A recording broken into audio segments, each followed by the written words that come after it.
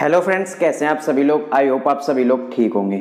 दोस्तों, जैसा कि आप जानते हैं कि आपके जो असाइनमेंट की लास्ट डेट है, उसे एक्सटेंड कर दिया गया है। मैंने अपनी लास्ट वीडियो में आपको बताया था कि अलग अलग रीजनल सेंटर की तरफ़ से गाइडलाइंस जारी कर दी गई हैं कि आपके असाइनमेंट की जो लास्ट डेट है, उसे इकतीस मई तक एक्सटेंड कर दिया गया है। बहुत सारे रीजनल सेंटर ऐसे हैं जिनकी तरफ़ से अभी कोई गाइडलाइंस नहीं जारी की गई है। दोस्तों, मेरे पास स्टूडेंट्स का कमेंट आता रहता है कि हमारे रीजनल सेंटर ने अभी कोई गाइडलाइंस नहीं जारी की है कि हमारे रीजनल सेंटर जो है वो ऑनलाइन असाइनमेंट सबमिट कर रहा है या ऑफलाइन असाइनमेंट सबमिट कर रहा है।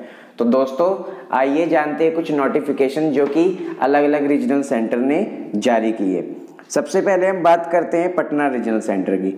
जैसा कि पटना रीजनल सेंटर ने असाइनमेंट को लेकर गाइडलाइन जारी की है, जैसा कि यहाँ पे आप देख रहे हैं last date for submission of assignment इसकी जो डेट है इकतीस मई तक एक्सटेंड कर दी गई है।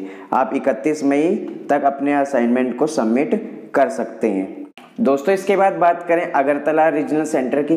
तो अगरतला रीजनल सेंटर ने भी अपने असाइनमेंट को लेकर एक गाइडलाइन जारी कर दी। इसमें बताया गया है कि आपके जो असाइनमेंट सबमिशन है, उसकी जो लास्ट डेट है, उसे एक्सटेंड कर दिया गया है। उसे इकतीस मई तक एक्सटेंड कर दिया गया है।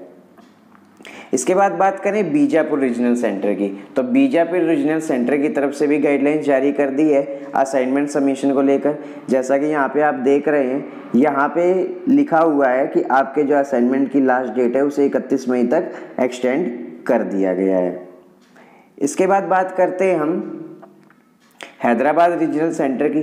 तो हैदराबाद रीजनल सेंटर ने भी अपने असाइनमेंट सबमिशन की जो लास्ट डेट है, उसे 31 मई तक एक्सटेंड कर दिया गया है। इसके बाद बात करते हैं हम जयपुर रीजनल सेंटर की। तो जयपुर रीजनल सेंटर ने भी अपने असाइनमेंट सबमिशन को लेकर न्यू गाइडलाइन जारी की, जिसमें बताया गया है कि आपके असाइनमेंट जो इकतीस मई तक सबमिट होंगे। इकतीस मई तक आपकी जो असाइनमेंट की लास्ट डेट है, उसे एक्सटेंड कर दिया गया है। तो दोस्तों, हम कह सकते हैं लगभग सभी रीजनल सेंटर ने जो अपने असाइनमेंट सबमिशन को लेकर जो गाइडलाइंस है, वो जारी कर दी हैं कि असाइनमेंट ऑनलाइन सबमिट होंगे या ऑफलाइन सबमिट होंगे।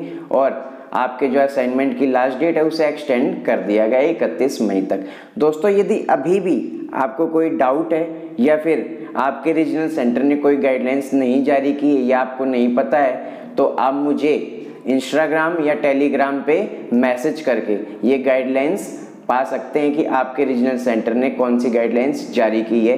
ऑनलाइन असाइनमेंट सबमिट करने हैं आपको या ऑफलाइन सबमिट करने दोस्तों, आप मुझे मैसेज करके अपना आंसर ले सकते हैं या फिर मुझे कमेंट बॉक्स पे कमेंट करके भी आप अपना आंसर ले सकते हैं। दोस्तों, ये थी अलग अलग रीजनल सेंटर की तरफ़ से गाइडलाइंस की असाइनमेंट जो है, उसकी लास्ट डेट इकतीस मई तक एक्सटेंड कर दी गई है। इसके बाद बात करते हैं हम आपके रिज़ल्ट को लेकर। दोस्तों, जैसा कि आप जानते हैं कि आपका जो लास्ट रिज़ल्ट का अपडेट है वो 13 अप्रैल तक यहाँ पे शो हो रहा है। आपका जो लास्ट रिज़ल्ट का अपडेट है वो 13 अप्रैल तक यहाँ पे शो हो रहा है। इसके बाद रिज़ल्ट का कोई भी न्यू अपडेट नहीं आया है। बहुत सारे स्टूडेंट का कहना है कि हमारा जो रिज़ल्ट है वो कब तक आएगा? फरवरी दो हज़ार इक्कीस का जो रिज़ल्ट है वो कब तक आएगा? जो न्यू अपडेट है रिज़ल्ट का वो कब तक आएगा? दोस्तों, जैसा आपको पता है कि चौदह अप्रैल से लॉकडाउन लग गया था। इस कारण से जितने भी रीजनल सेंटर हैं, वो सभी बंद चल रहे हैं। तो रीजनल सेंटर बंद होने के कारण आपका जो न्यू अपडेट है रिज़ल्ट का, वो अभी तक अपडेट नहीं किया गया है। और जैसा कि आपको पता है कि आपको पता है आपके जितने भी रीजनल सेंटर अभी वो क्लोज हैं। जैसा कि नया सर्कुलर आया था, जैसा कि आप देखते हैं यहाँ पे। तो दोस्तों, जैसा कि आप देख रहे हैं, अट्ठाईस अप्रैल को ये सर्कुलर जारी किया गया था, जिसमें बताया गया है कि आपके जितने भी रीजनल ऑफ़िस हैं रीजनल सेंटर हैं, वो उनतीस अप्रैल से लेकर तीन मई तक बंद रहेंगे। तो दोस्तों, हम कह सकते हैं कि आपका जो रिज़ल्ट का न्यू अपडेट है, वो अभी नहीं आएगा। लगभग अभी दो तीन दिन आपका रिज़ल्ट का नया अपडेट नहीं आएगा, क्योंकि आपके जितने भी रीजनल सेंटर हैं, वो अभी बंद हैं। तो इस वजह से काम नहीं हो पा रहा है, इसलिए आपका जो रिज़ल्ट का न्यू अपडेट है, वो नहीं आ पा रहा है। और दोस्तों, जैसा कि आप देख रहे हैं, इससे पहले भी एक 24 तारीख को न्यू सर्कुलर आया था, जिसमें बताया गया था कि आपके रीजनल सेंटर जो हैं, वो 26 अप्रैल से लेके 28 अप्रैल तक बंद रहेंगे।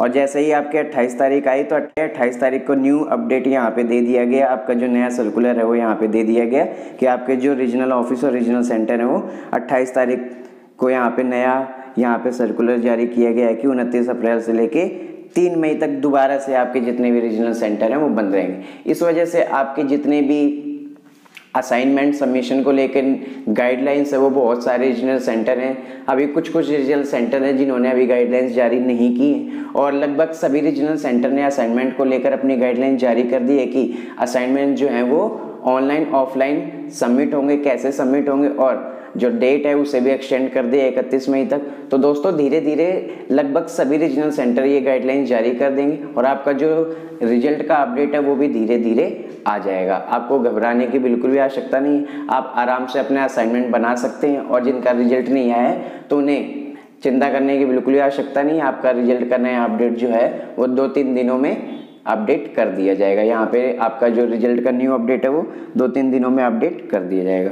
तो दोस्तों, ये थी आज की वीडियो दोस्तों, यदि आपको कोई डाउट है वीडियो से रिलेटेड या फिर आपको अपने असाइनमेंट कैसे बनाने या फिर आपको असाइनमेंट ऑनलाइन सबमिट करने ऑफलाइन सबमिट करने, आपके असाइनमेंट को लेकर आपके रीजनल सेंटर ने अभी गाइडलाइंस नहीं जारी की तो ये सारे डाउट आप मुझे इंस्टाग्राम टेलीग्राम पे मैसेज करके अपना डाउट क्लियर कर सकते हैं। धन्यवाद।